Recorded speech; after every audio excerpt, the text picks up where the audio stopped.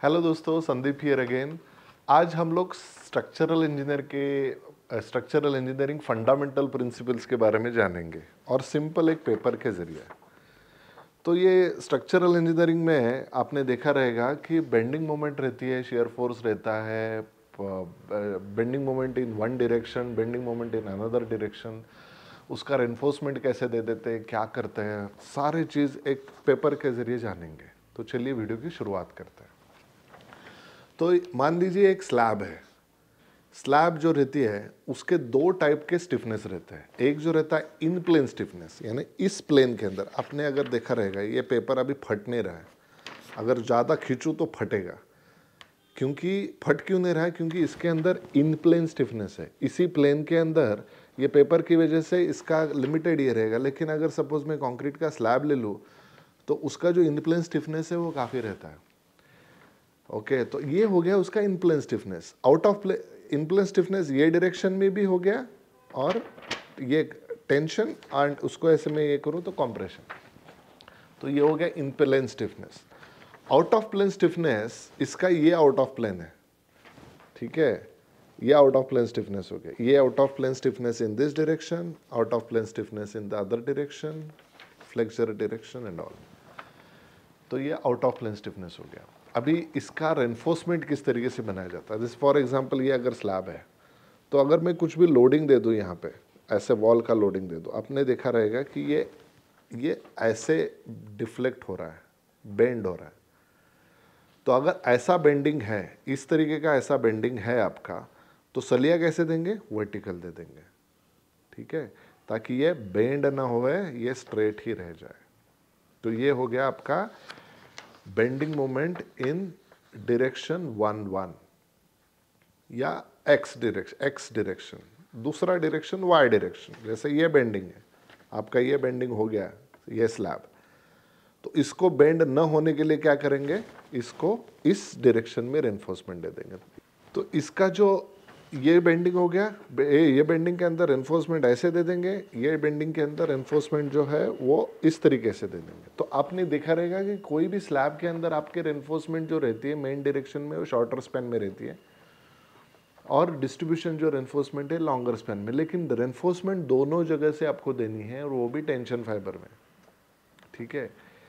ये हो गया आपका डिफ्लेक्शन का केस अभी इसको शेयर कैसे करेंगे? अभी शेयर के अंदर आप देखेंगे तो पहला ये अगर आप, आपका ये राफ्ट है फाउंडेशन है आपने यहाँ पे कॉलम डाला तो ये हो गया आपका पंचिंग शेयर पंचिंग शेयर यानी पंचिंग मशीन भी आता है आपने देखा रहेगा। तो इसको अगर हम लोग ऐसे पंच करेंगे तो उस उस टाइम पे आपको पंच करना है। इसके लिए उसका जो एरिया है वो कम रखा जाता है। तो ऑटोमेटिकली आपके दो होल्स यहाँ पे लगेंगे आपको पेपर एक पर्टिकुलर फ़ाइल में रखने के लिए।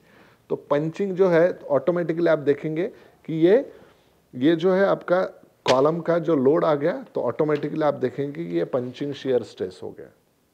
तो ये पंच हो गया। अभी चलिए, हम लोग शेयर के बारे में बात करेंगे। शेयर के अंदर क्या होगा कि ये जो पंचिंग शेयर तो मैंने पहले बताया। अभी उसका दूसरा जो शेयर है ऐसा है।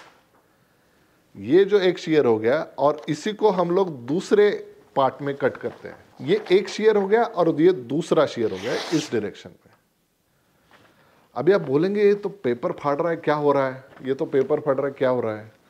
आपको एक चीज़ बता देता हूँ। पंचिंग शेयर भी रहता है ना, दो डायरेक्शन में देता है। S one three S two three जैसे एक बर्थडे केक है। बर्थडे केक को आप ऐसे कट करोगे और ऐसे भी कट करोगे तो ही आपको वो खाने को मिलेगा। तो उसका एक पार्ट मिल सकता है। ठीक है? तो दो डायरेक्शन में आपको कट करना होता है। वैसे ही आपका ये जो पंचिंग शेयर स्ट्रेस है, इसकी अगर डेप्थ अगर बढ़ गई तो ऑटोमेटिकली आप आप आप देखेंगे कि इसका रेजिस्टिविटी बढ़ जाता है।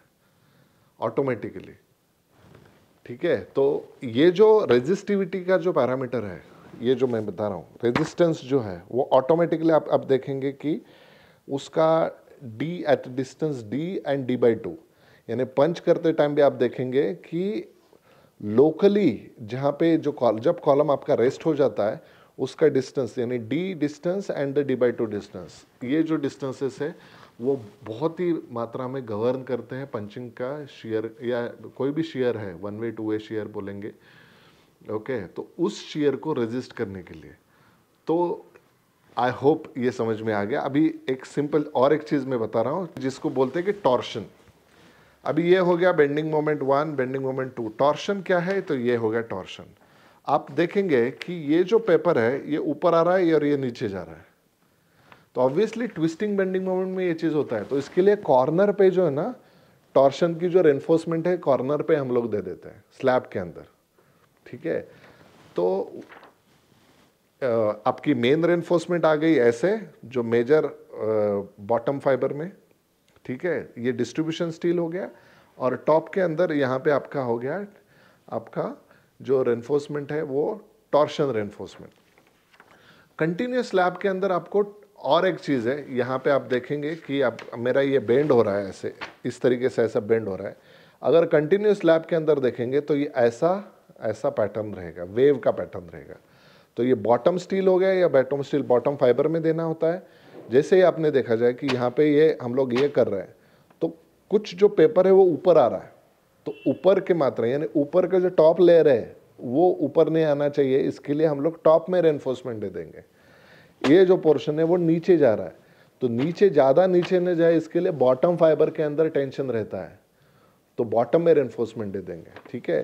तो ये रेनफोर्समेंट इस तरीके का रेनफोर्समेंट पैटर्न आपको देना है। तो हम लोग उसको पैटर्न में कैसे करते हैं कि रेनफोर्समेंट तो ऐसे नहीं दे पाएँगे। तो इसके लिए बॉटम में, फिर टॉप में, वापस बॉटम में, वापस टॉप में। तो कंटिन्यूस लैब में इस तरीके का पैटर्न का रेनफोर्समेंट रहता है। तो आई होप ये जो प्रिंसिपल स्ट्रेस और स्ट्रेन और जो बेंडिंग का जो थियरी है, आपको समझ में आ गया। ये वेबिनार टॉपिक है। अगले वेबिनार के लिए ऐसे ही कुछ अगर आपको चाहिए तो please subscribe the channel thank you so much bye bye